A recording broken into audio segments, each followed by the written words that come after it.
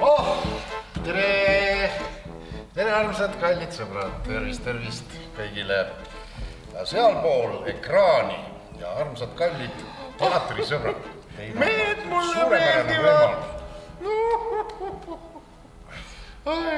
ainult, et mitte autoroolis.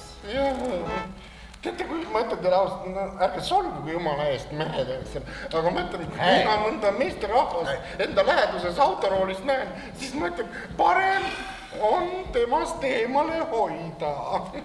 Te vaadake, kus kohas üldse mehed sõidavad. maanteedele on ju spetsiaalselt valged jooned joonistatud. aga kus mehed sõidavad joonte vahel. ja, ja. ta on haritud liikleja muide, ma ütlen ausalt. Täpselt nii nagu on joonistatud, nii ma sõidan. sa pead väga targalt kuulama, kui, kui, kui sa tema laulu kuulad. ega, ega need tänapäeva lauljad, need ju ei laula äh, normaalselt ju. Need ju röögivad nüüd nii, see kopsutükk lendab suust, õudne kuulata lihtsalt. vot vanasti oli tead laulud, sa, sa kindlasti mäletad, vot mis see, vot see oli hea lugu, mäletad kõike. Ma ei tea, kes te olete, see kuulge, nii, aitab, aitab, aitab, aitab, aitab, aitab küll. Te saate kindlasti veel sõna Joo, joo, joo. kallid pean, et see. teatrisõbrad, äh, meil on plaanis väike üllatus teile. sel reedel, juba sel reedel, see on siis seitsmeteistkümnendal aprillil, see ei ole mingi aprillinali, ei ole. seitsmeteistkümnendal aprillil siit Von Kleeni teatrist tuleb väike püstijala live.